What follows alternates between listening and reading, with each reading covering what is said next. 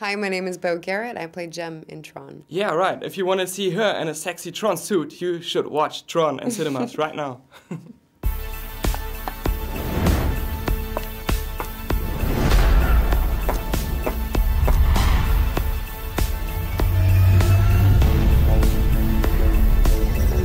Uh, yeah, I just mentioned the suit. Where is it? Since it's Fashion Week Oh, here in. Berlin. I love it so much that I left it in my closet at home because I didn't want anyone to steal it from me.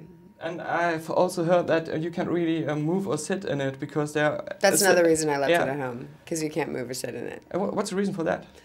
Um, it's well, it's a four-layer suit. It's not just one layer. So you have your corset, and then you have a barrier, then you have the electronics, and then you have the suit. Um, and the suit itself, like every, every other barrier, is great. You can move and whatever, but the suit is um, it's like wearing. It is, you can't move in it. I don't even. There's nothing. I've never worn anything like it before. I mean, it, it pretty much puts you like this. You have to constantly be like that and force yourself to stand upright. And you just stay in that position for 20 hours. well, you couldn't really lay down because you had the disc on the back. So you couldn't lay on your back. You couldn't really lay on your front because you had cement breasts, which was great. and uh, you couldn't really lay on your side because you had the lights and you didn't want to mess them up. So we had walkers, you know, like little walkers that we'd sit on. So in between takes, you'd see all of us like falling over our walkers. I think Joe actually has a blooper of the madness of that scene where we're dressing him, and in between a take, literally everyone just stops. All of the like you know costume department comes in and they bring the walkers, and we all just fall on the walkers, and this looks like a siren hospital.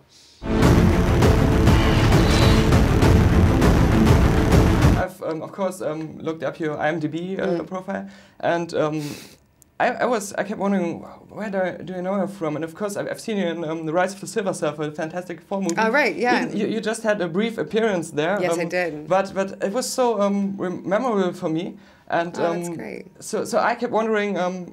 This was a smaller role too in, Mm. in Tron. When's the blockbuster? I don't know. I don't know. Maybe at some point, maybe never. I mean, I'm I'm happy with the journey. I don't know where it will take me, but um, uh, I personally tend these big films are wonderful to be a part of because you get to do all of this madness and.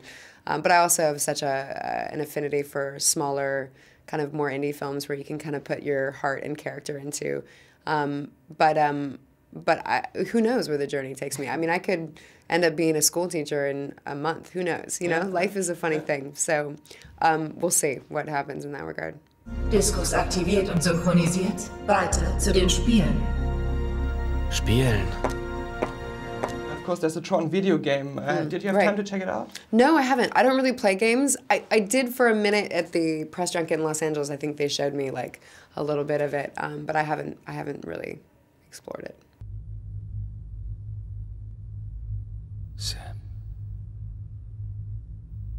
Ist lange her. Du hast keine Ahnung.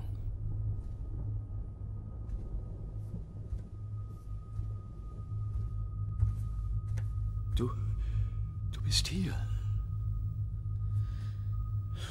They would have told you, and we're doing a new Tron movie, and you wouldn't even know what this is, and they said, um, okay, Jeff Bridges is in Mm. Sure, there. I'll do whatever he does. Yeah. I will be on the Jeff Bridges train anytime. I just think he's so uh, he's a legend. yeah. I mean, I've been watching his work since I was a kid, and he is a legend, and he's a really good man, and uh, so talented, and has such a soul.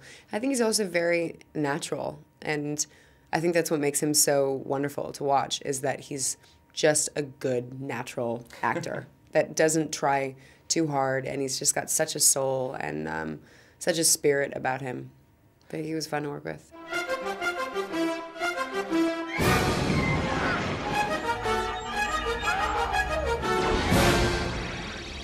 I've just recently watched the original uh, Tron before I I watched Legacy, and um, I haven't seen it before, and I didn't really like it. Uh, I never saw the original, so I know. Someone's gonna shoot me with a like a lightning's gonna come down and kill me.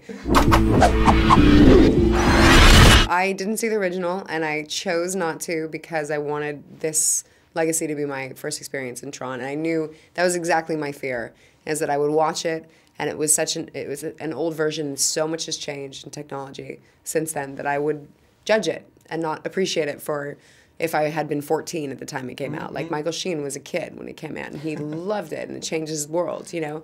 But I was born in 82, and I think that I would go back and watch it and judge it. And this was such a experience for me, being a part of it, A, and then also seeing it. And so much time had passed since we had shot it that I could actually see it unbiased and forget how the process of it and and uh, so it was it was nice for this to be my my first experience. Uh, let's see if people laugh about this Tron in 10 years, you know? I, we don't know. I hope not. I hope it just goes down in history. Thank you. Thank-